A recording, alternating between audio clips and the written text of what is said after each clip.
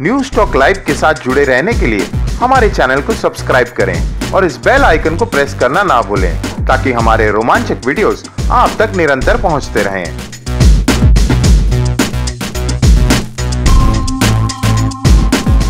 वसई विरार के महानगर पालिका वृक्ष अधिकारी पर वसई मानिकपुर पुलिस स्टेशन में मामला दर्ज।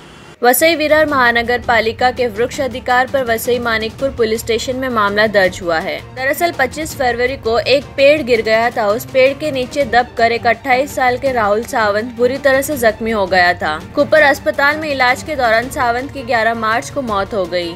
इस घटना में वसई विरार महानगर पालिका के अधिकारी ने जाँच में मनपा के वृक्ष अधिकारी सुरेंद्र पाटिल को दोषी पाया।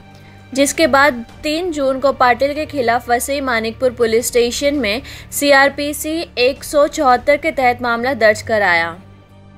अ, हमारे यहाँ एक राहुल सावंत करके 28 साल का एक जवान था। उसने अ, उसकी 25 दो 2019 को उसके वो बाइक से घर जा रहा था। तभी पेड़ गिरने की वजह से उसकी कुपर हॉस्पिटल में मृत्यु हो गई। उसी मुताबिक हमारे इधर अकस्मात मृत्यु दाखिल हुआ था और उसके इंक्वायरी में उसके जो पिताजी थे, उन्होंने ये हादसा जो हुआ उसमें महानगर पालिका या संबंधित सोसाइटी जिम्मेदार है, उनके ऊपर गुना दाखिल होना चाहिए। इस टाइप का कंप्लेंट दिया था हमारे उधर।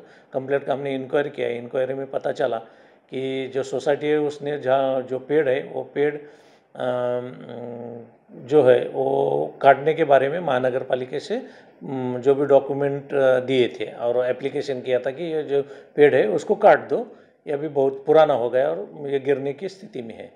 मगर महानगर पालिका ने वो पेड़ तीन चार बार एप्लीकेशन करने के बाद भी काटा नहीं और उसी वजह से वो पेड़ गिर करके इसके लड़की की मृत्यु हो गई, हमारी इंक्वायरी में आया।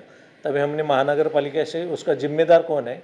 इसके बारे में हमने पत्र व्यवहार किया तो उसमें सामने आए कि सुरेंद्र पाटिल नाम का जो उनके वृक्ष प्राधिकरण का ऑफिसर है, वो इसके लिए जिम्मेदार है।